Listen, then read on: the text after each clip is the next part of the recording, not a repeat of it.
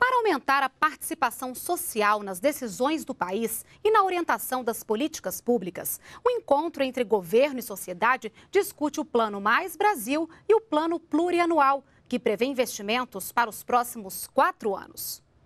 Este é o terceiro Fórum Interconselhos. No primeiro, a sociedade ajudou a elaborar o Plano Plurianual 2012-2015. Foram mais de 600 propostas. O segundo foi um momento para o governo mostrar quais reivindicações foram atendidas no orçamento público. Cerca de 77% delas foram incorporadas. Agora é hora de definir como monitorar o plano. A proposta inicial é de que o Fórum se reúna duas vezes por ano para avaliar o que foi feito. É uma inovação, na verdade, no orçamento, né? É, na forma como está desenhado o orçamento federal, porque permite que os diversos conselhos e os diversos segmentos possam dialogar entre si e monitorar junto, né, em conjunto, como está sendo aplicado os recursos, seja para formação, para capacitação ou para outras políticas né, que envolvem o conjunto de setores da sociedade. Para o ministro-chefe da Secretaria-Geral da Presidência da República, Gilberto Carvalho, a cultura de participação popular tem mudado. Cada vez mais a sociedade tem a capacidade e a possibilidade